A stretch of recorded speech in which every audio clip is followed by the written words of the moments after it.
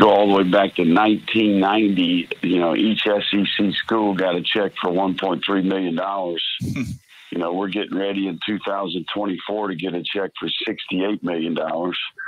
So, you know, this game has exploded in probably the last 15 years, I would say.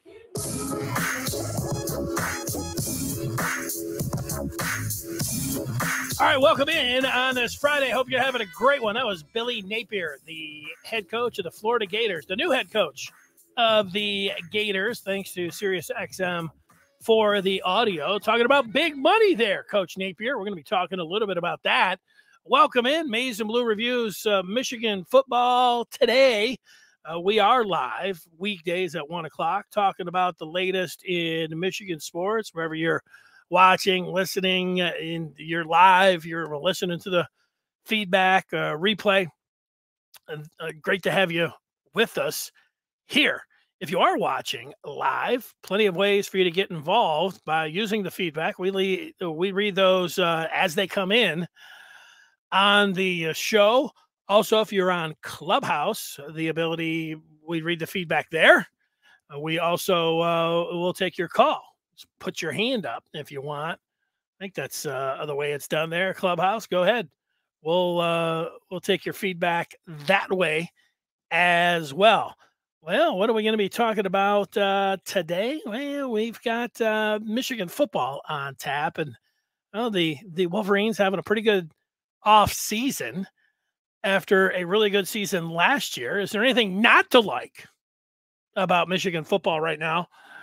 Think it over. You have to nitpick a little bit because the first thing that comes to my mind is there anything not to like about Michigan football? No, everything's going great.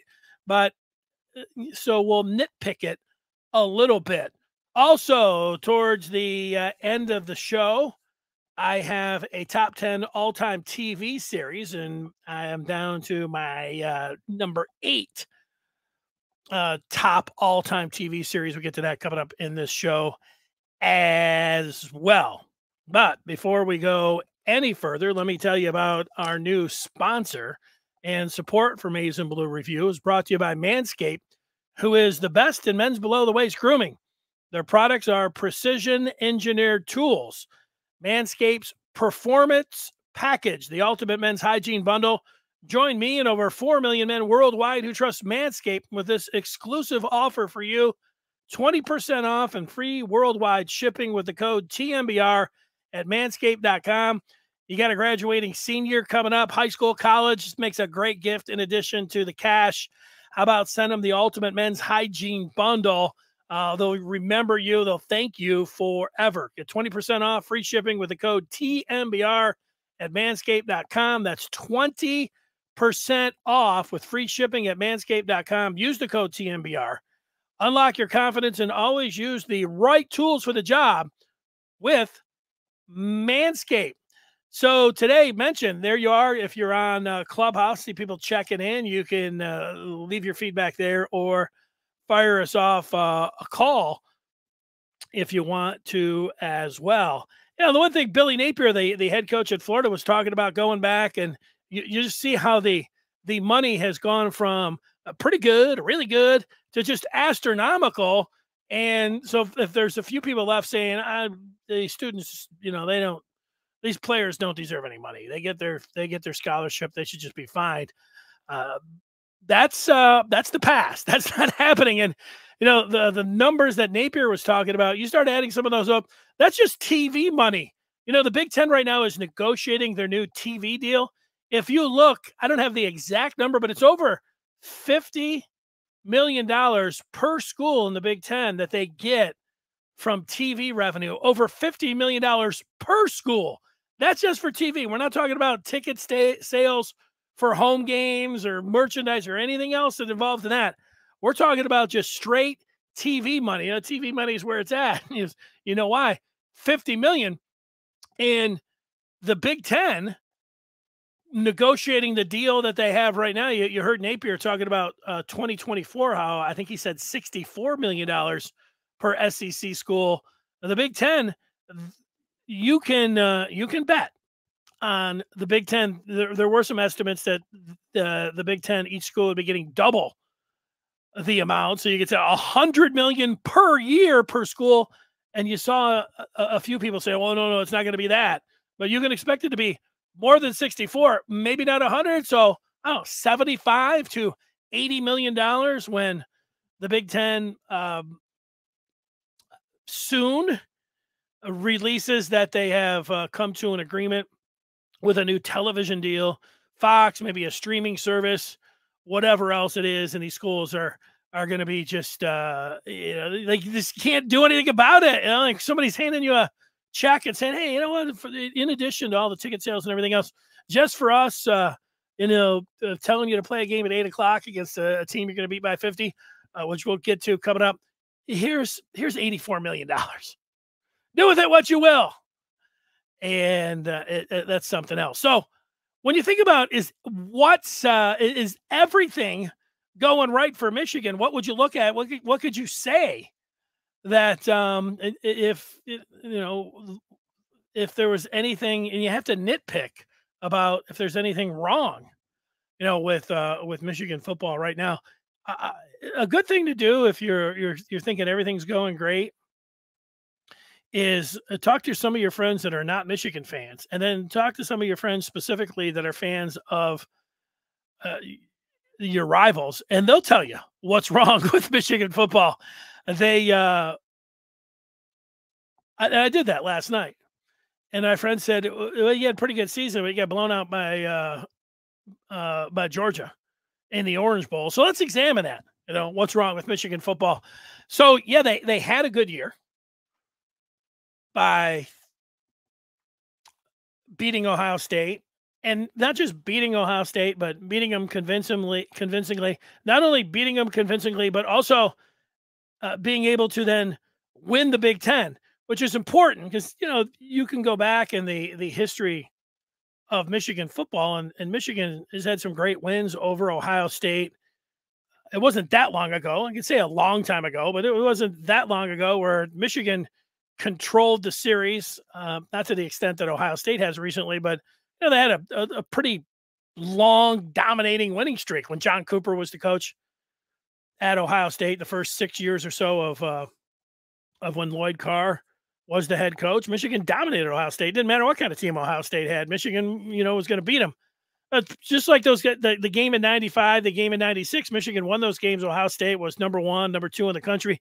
Great wins for the Wolverines in their in their games that go down that you talk about forever. In 95, you know, Tshimanga Biakabutuka had 313 yards. The following year down at the Horseshoe, you had a, a, number one Ohio State team and uh, Shawn Springs, their corner slip Tai Streets, uh, you know, took the, uh, a short pass the distance and Michigan ended up beating, I think, 13 7, 13 6. Great win.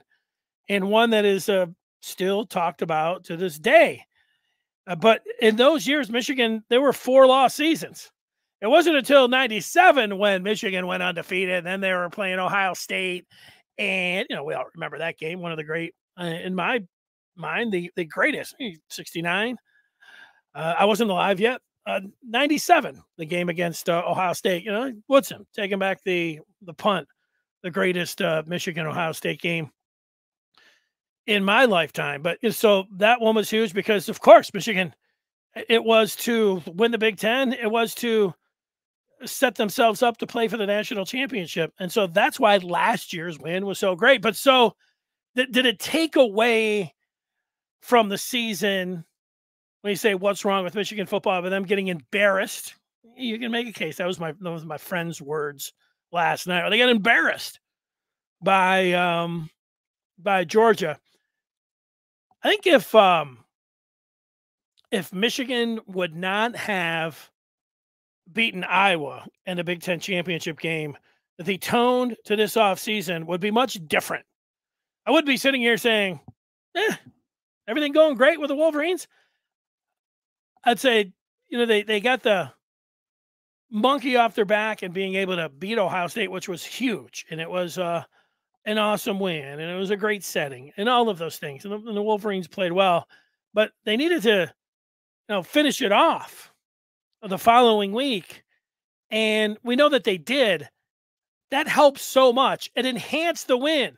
Like Michigan wins over Ohio State stand on their own, but beating Iowa and winning the Big Ten, that validated more uh, the victory. Now, if they would have been able to go somehow into the college football playoffs and and beat Georgia, it would have, you know, then you're getting into the territory of once in a lifetime type opportunities. We would have talked about last year. It's going to be talked about forever, anyways. But it would be talked about um, in canonizing fashion, like '97 is, and it's it's going to fall just short of that. So, what's wrong with Michigan football? Well, going back and and getting that experience. I how things play out over the next couple years, you know, just like beating Iowa validated or enhanced that game more. If Michigan in the upcoming seasons are able to get back to the college football playoff and they use that experience and you can remember that experience like okay you know they got there and then I the, the next time like if michigan somehow if we just sounds nice and it feels good to think about. I'm sure if you're a Michigan fan, let's just say Michigan gets back, they win the, they beat Ohio State again. They go to the Big Ten championship game, they win that, and they go to the college football playoff again. Uh, this time, you would expect a a better game. You would expect a closer game. You might even expect like you know they have to win it, you know, to to validate some things. So there's something to that. You know, yeah, the the very end, but um considering how long it had been, what 16, 17 years since Michigan had won the Big Ten, uh, considering how uh, infrequently they were beating Ohio State, and to do that, to do both of those, and then just get their first taste of Indianapolis and the college football playoff, uh, it's still ultra successful season, and you know, you, you, don't sit and uh, agonize. Although, you know, the New Year's Eve, you know, it sucked. The game, you know, sucked. It, it was over really quick. But, um, but yeah, so you, you move on and you turn the page. What else is wrong with Michigan football? This is a nitpicker. You can say the, the non conference schedule. And last year at this time, if I was uh, sitting here staring at this camera and talking through this mic, I would say, "Oh, I'm really looking forward to that Washington game on September 11th. It's going to be a night game. You got the Wolverines and the Huskies, and I'd be talking about in you know glowing fashion about you know our you know and, and missing the opportunity because of the pandemic. I was planning on going out to Seattle to Husky Stadium, you know, the uh, I've been to Seattle. I've been by that stadium. There's there's really uh, it's one of the most gorgeous settings for college football. I was looking into uh, tailgating out on a boat, sailgating. I mean, that, that was going to be awesome. But then you, you know you have a, a Power Five opponent and a you know a, big name Power Five opponent. You know this wasn't uh, Washington State or Oregon State. You know, it was Washington. Now it ended up not being a a big time uh, opponent because Washington was down, but you didn't know that. In fact, you didn't know it until um, September of last year when they lost lost to Montana.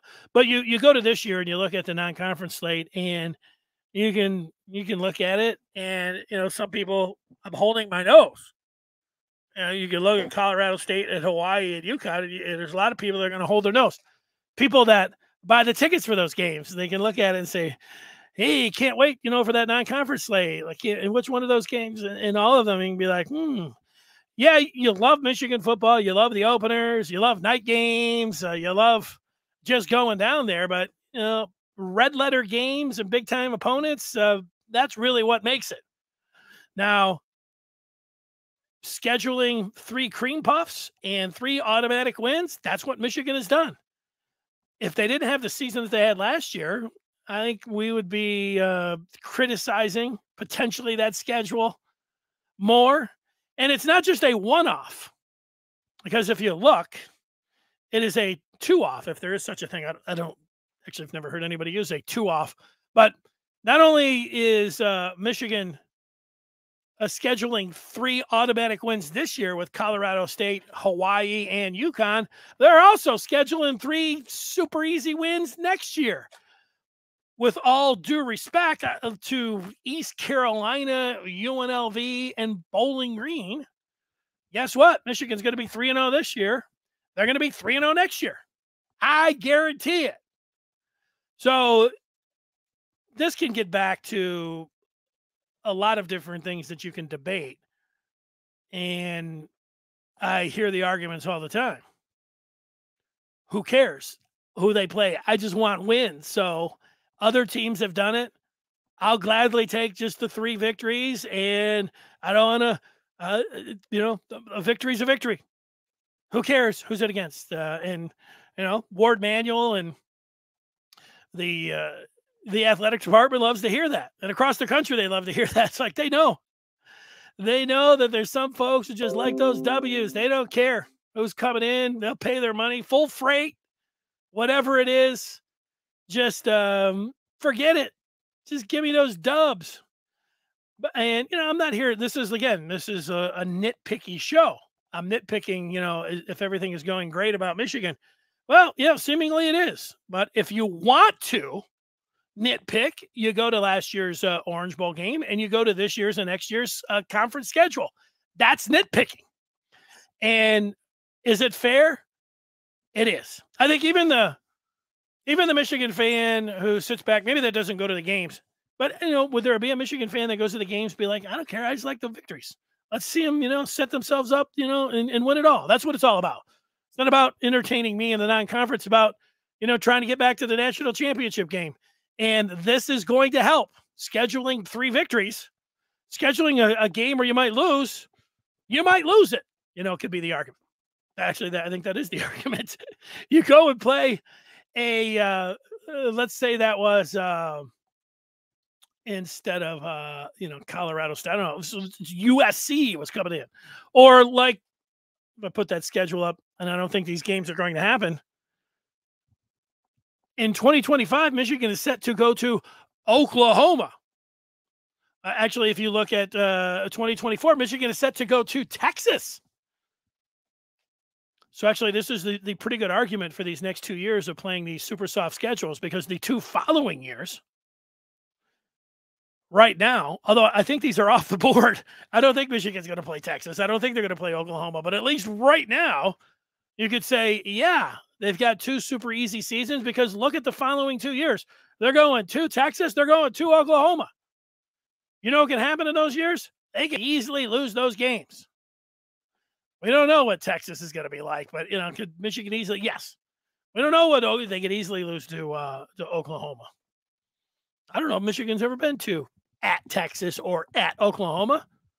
It hadn't been in my lifetime. So maybe they have. You got to go back a long time. I don't remember Oklahoma coming in uh, the big house either, either thing with the Longhorns. But now that those two teams have uh, joined up with the SEC, your guess and my guess is that that's not going to happen, and there's not going to be any, uh, any divisions in the Big Ten and all that kind of stuff. Th- these games uh, are likely not going to happen. But there's your good argument again for people that say, "Wow, man, Michigan's playing the softest schedule ever this year and next year." And you say, "Well, look at the following years, at least right now." You don't have to. You don't have to add right now. You just say the following two years they're going to Texas and Oklahoma. Okay, the third nitpicky thing about uh, is everything just going great with Michigan is um, recruiting. And recruiting right now is not going great. It is Memorial Weekend. We are heading into Memorial Weekend. So if we were heading into Labor Day weekend and Michigan was still, I think, rivals, don't hold me to it, but I think they're ranked about 15, 16 right now. If we get to Labor Day and Michigan is still sitting there at 15 and 16, I think the the criticism is, uh, oh, I, I would say more than fair. I don't know if it's it, it's fair to talk about right now. Is it fair to say Michigan's not getting the job done in recruiting? It's like, well, it's it's early still, and I know Notre Dame has done a, a great job, and uh, I, I, know some other schools, even in the Big Ten. Ohio State almost always does a good job in recruiting. It seems like Penn State is uh, they did a good job last year. They're off to a good start here. Getting off to a good start Would I rather get off to a good start than a slow start? Yes. Uh, but it, it's how you finish. And in sports, it's always how you finish. And look at recruiting. And we know that we have name, image, and likeness in play right now. And we don't know exactly how that's going to affect Michigan. I think Michigan had two things over the last week that raised their profile. One, they're allowing players the ability to use the block M if they want to come to an agreement. Uh, that's big. And you also had the imagery of uh, their two interior offensive linemen driving around in a Lambo. You know, Trevor Keegan, an offensive guard for Michigan, uh, signed a name, image, and likeness deal with Lambo. Come to find out, the guy that owns that uh, Lambo dealership is a Michigan grad. Makes sense. But the imagery, it's like driving around in a, a Lamborghini. You're a high school football player, and you just say, you don't have to say, um, you know, here are the keys if you come and are part of this recruiting class. You just say, hey, guess what? You have the opportunity to drive a Lamborghini next year if you want to come to Michigan. Just, just in the wording, just uh, how you phrase that. And I'm talking about recruiting right now because the the way that name, image, and likeness is uh, evolving. You know, I could come back here on Monday and start talking about it. it, it you know, we might have a lot of different things to say.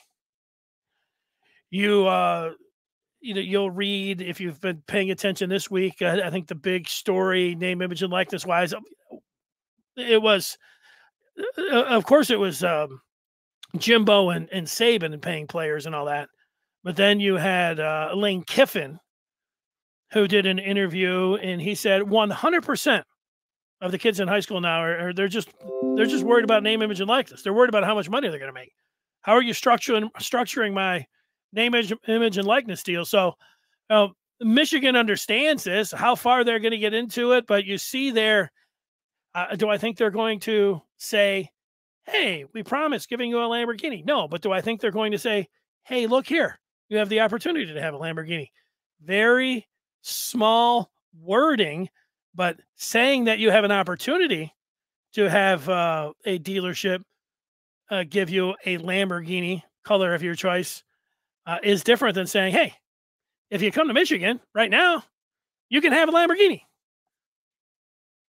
Small thing, big thing.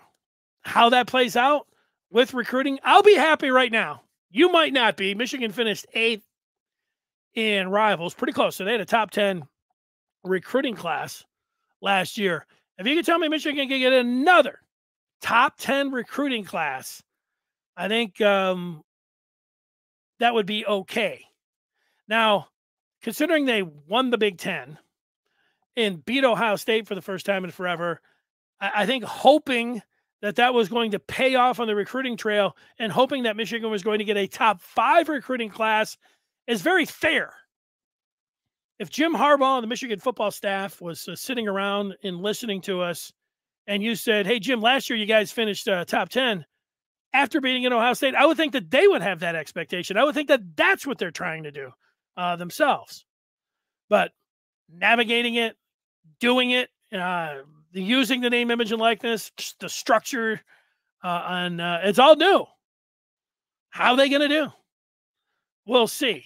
But it's still, I, I don't think that's letting them off the hook myself. Now, if Michigan finishes, let's say they finish 20th right now, if we're sitting here in in February, that that signing day, and it comes through, and Michigan's ranked 20th, and say, you know what, they uh they missed a golden opportunity. They name, image, and likeness, the other school. I mean, all those things obviously are going to be fair right now.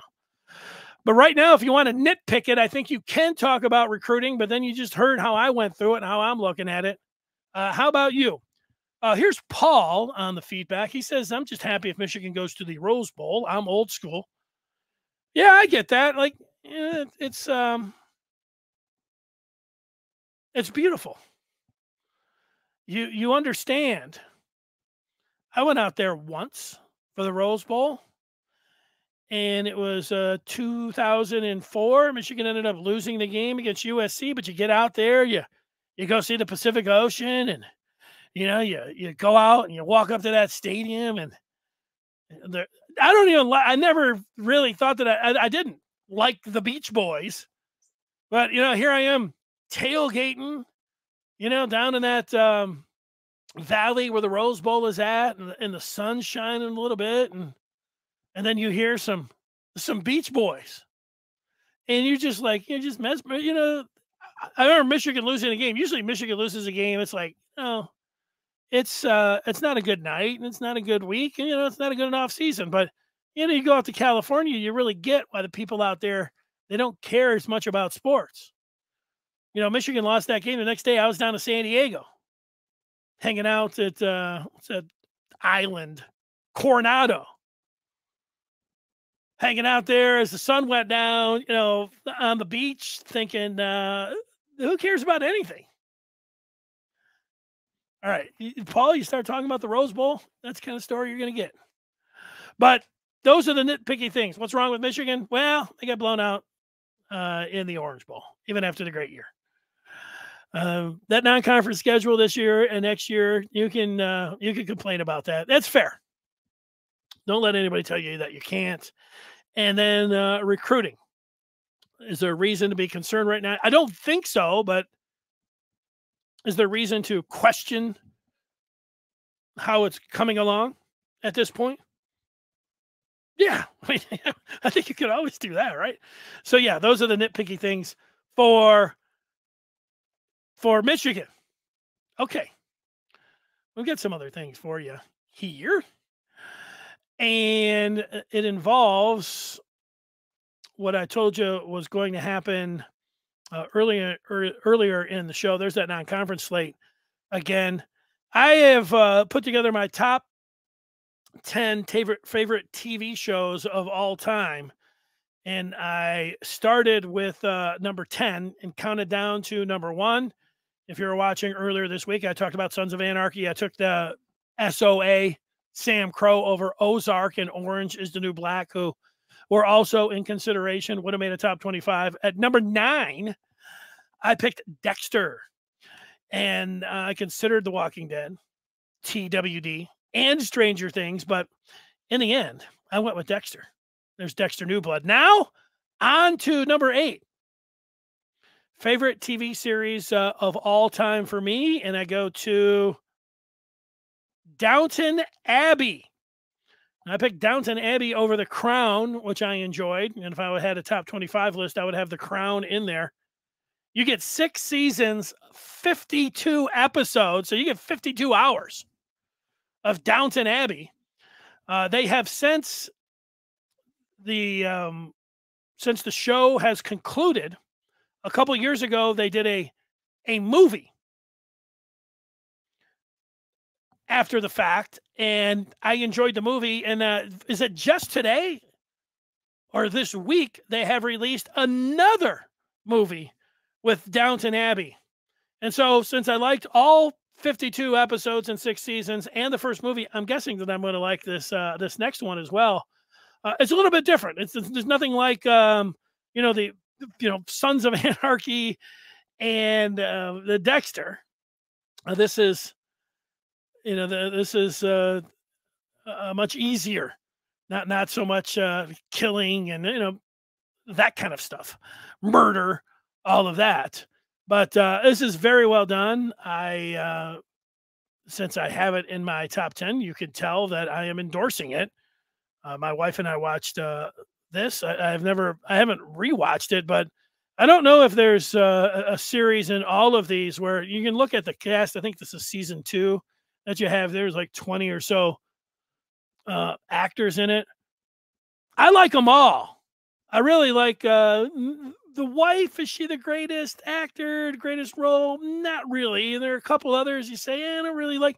But for the most part, I root for the people upstairs. I like the actors downstairs, and I don't know in a cast again out of a TV series if I've ever went through and, and have liked as many um, cast members in a series, but it gets a definite thumbs up for me. And that gets me to number eight in my top 10 TV series of all time. Don't forget, you can uh, talk Michigan all the time on and Blue Review. Join us at michigan.rivals.com. I'm hanging out on uh, the post, uh, posting boards day and night. Well, looking for Michigan things to talk about and discuss. Not just Michigan. There'll be some off topics that uh, you will get into other sports, but as you might guess, uh, it has a uh, big time Michigan focus. And with Father's Day coming up, here, here's somebody that's like, you know, I don't really know what to get my dad. Sliding your dad a subscription to the Maize and Blue Review, uh, if he's a Michigan fan, would be golden. Uh, all right, uh, we're on YouTube. We'd like you to subscribe to us there. Uh, follow us on Facebook. Do the same thing on Twitter. You can watch the the shows on uh, those two platforms. Uh, uh, where they're posting pictures on Instagram. I see Josh Henschke uh, doing that, and I run the TikTok feed, and I, have got about a half dozen uh, TikToks up there that I'm proud of. So uh, take a look and tell me what you think on the TikToks. And if you're listening to any of our podcasts, do all the things like rate them, review them, and leave comments. Those things are appreciated. If you do that, uh, we're able to keep all of this going and coming at you every day. We've got some exciting things going on. Hope every uh, one has uh, an enjoyable uh, Memorial weekend. And, you know, we look back and uh, we reflect on those that paid the ultimate price. And uh, I will be with you. I, am thinking I'll be here on Memorial Day. So, Memorial Day special. Uh, until then, everybody uh, enjoy the rest of Memorial weekend. And that'll do it.